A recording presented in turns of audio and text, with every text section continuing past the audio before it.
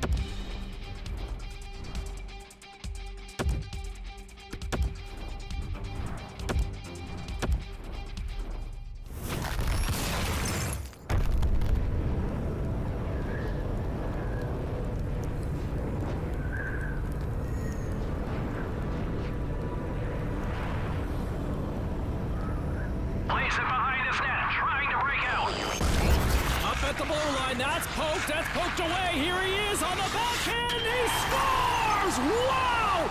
Jari Kurri beats the goaltender with one hand on the backhand.